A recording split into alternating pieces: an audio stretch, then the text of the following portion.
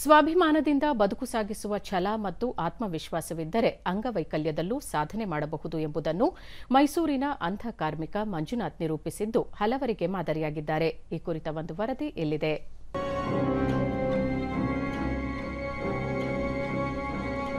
ಮೈಸೂರಿನ ಮಿಷನ್ ಆಸ್ಪತ್ರೆ ರಸ್ತೆಯ ಮಂಡಿ ಮೊಹಲ್ಲಾದ ನಿವಾಸಿ ಪಿಜಿ ಮಂಜುನಾಥ್ ಅವರಿಗೆ ಕಣ್ಣು ಕಾಣದು. ಆದರೂ ಕಳೆದ ಮೂವತ್ತು ಮೂವತ್ತೈದು ವರ್ಷಗಳಿಂದ ಕುರ್ಚಿ, ಸೋಫಾ ರಿಪೇರಿ ಮಾಡುವ ಮೂಲಕ ಮಾದರಿಯಾಗಿದ್ದಾರೆ. ಇವರು ತಯಾರಿಸುವ ಕುರ್ಚಿ, ಮೇಜು ಸೇರಿದಂತೆ ಇತರ ಪೀಠೋಪಕರಣಗಳಿಗೆ ಬೇಡಿಕೆಯೂ ಇದೆ. ಒಟ್ಟಾರೆಯಾಗಿ ಇವರು ಹಲವರಿಗೆ ಸ್ಫೂರ್ತಿಯ ಸೆಲೆಯಾಗಿದ್ದಾರೆ. ದೂರದರ್ಶನದೊಂದಿಗೆ ಮಂಜುನಾಥ್. ಕಳೆದ ಮೂರು ದಶಕಗಳಿಗೂ ಹೆಚ್ಚು ಸಮಯದಿಂದ ಕುರ್ಚಿ, ಸೋಫಾ ರಿಪೇರಿ ಮಾಡುತ್ತಾ ಬದುಕು ಸಾಗಿಸುತ್ತಿದ್ದೇವೆ. ನನ್ನೊಂದಿಗೆ ತಾಯಿ ಕೆಲಸದಲ್ಲಿ ಸಹಕಾರ ನೀಡುತ್ತಿದ್ದಾರೆ. ತಾಯಿಯ ನೆರವಿನಿಂದ ಕೆಲಸ ಮಾಡಲು ಉತ್ತೇಜನ ದೊರೆತಿದೆ. ಇದರಿಂದ ಕುಟುಂಬ ನಿರ್ವಹಣೆಗೂ ಅನುಕೂಲವಾಗಿದೆ. ದುಡಿದು ತಿನ್ನಬೇಕು ಎನ್ನುವ ಮನಸ್ಸಿದ್ದರೆ ದುಡಿಮೆಗೆ ತೊಂದರೆಯಾಗಲಾರದು ಎಂದರು. ನಾನೊಂದು ಮೂವತ್ತು, ಮೂವತ್ತೈದು ವರ್ಷದಿಂದ ಈ ಚೇರ್ ಕೆಲಸ ಮಾಡ್ತೀನಿ. ನನ್ನ ತಾಯಿ ಜೊತೆಯಲ್ಲಿ ಬರ್ತಾರೆ, ಯಾಕಂದ್ರೆ ಬೇರೆ ಬೇರೆ ಕಡೆ ಹೋಗ್ತಾ ಇರ್ತೀವಲ್ಲ, ಜಾಗ ಬೇರೆ ಬೇರೆ ಥರ ಇರ್ತದೆ, ಅದು ಗೊತ್ತಾಗದೇ ಇರೋದ್ರಿಂದ ಗೈಡ್ಗೆ ಅಂತ ಕರ್ಕೊಂಡು ಹೋಗ್ತೀನಿ. ದೃಷ್ಟಿ ದೋಷ ಯಾವುದೇ ತೊಂದರೆ ಇದ್ರೂ ಕೂಡ ದುಡಿಬೇಕು ಅನ್ನೋ ಮನ್ ಆಸೆ ಮನಸ್ಸಿನಲ್ಲಿದ್ದರೆ ದುಡ್ಡು ತಿನ್ಬೋದು.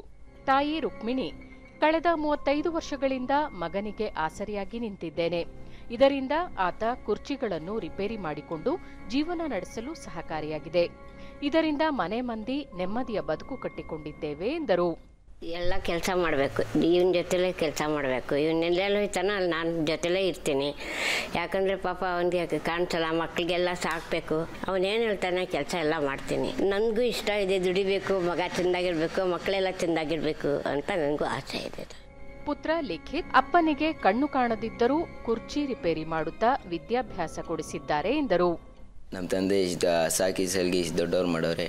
ಐ ಟಿ ಎಲ್ಲ ಓದಿಸವ್ರೆ. ಪತ್ನಿ ಕಮಲ ಪತಿ ಕಳೆದ ಮೂವತ್ತು ಮೂವತ್ತೈದು ವರ್ಷದಿಂದ ಕಣ್ಣು ಕಾಣದಿದ್ದರೂ ದುಡಿಮೆಯನ್ನು ನಂಬಿ ಕಾಯಕ ಮಾಡುತ್ತಿದ್ದಾರೆ. ಇದರಿಂದ ಕುಟುಂಬ ನಿರ್ವಹಣೆಗೆ ಅನುಕೂಲವಾಗಿದೆ ಎಂದು ಹೇಳಿದರು.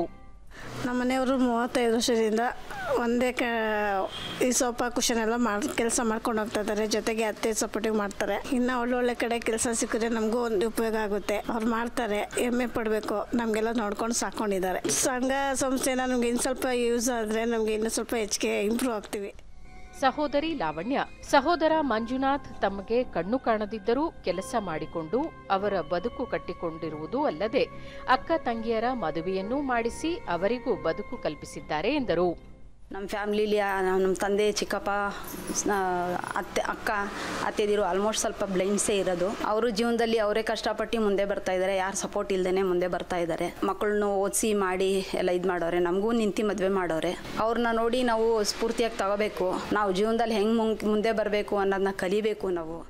ಸ್ಥಳೀಯ ಪರಶುರಾಮಪ್ಪ, ಕೆಲಸ ಇಲ್ಲ ಎಂದು ಸುಮ್ಮನೆ ಕೂರುವವರ ಮಧ್ಯೆ ಅಂಧ ಮಂಜುನಾಥ್ ಸಮಾಜಕ್ಕೆ ಮಾದರಿಯಾಗಿದ್ದಾರೆ.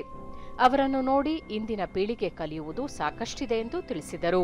ಮಿಷನ್ ಹಾಸ್ಪಿಟಲ್ಲಿ ಒಬ್ಬ ಕಣ್ಣಿಲ್ದಂಥ ಕುರುಡ ಇವತ್ತು ನಿರುದ್ಯೋಗಿ ಅಂತ ಕೂತಿಲ್ಲ. ಅವನು ನೀವು ಹೋಗಿ ನೋಡಿ ಎಷ್ಟೊಂದು ನೀಟಾಗಿ ಚೇರ್ ಮಾಡುವ ಮೂಲಕ ಸಮಾಜಕ್ಕೆ ಒಂದು ಮೆಸೇಜ್ ಕೊಡ್ತಾ ಇದ್ದಾನೆ.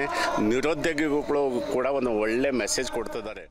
ಸ್ವಾಭಿಮಾನದಿಂದ ದುಡಿದು ಜೀವನ ಕಟ್ಟಿಕೊಳ್ಳಬೇಕು ಎನ್ನುವ ಛಲ ಮತ್ತು ದೃಢ ಸಂಕಲ್ಪದಿಂದ ಮಂಜುನಾಥ್ ಹಲವರಿಗೆ ದಾರಿ ತೋರುವ ವ್ಯಕ್ತಿಯಾಗಿದ್ದಾರೆ.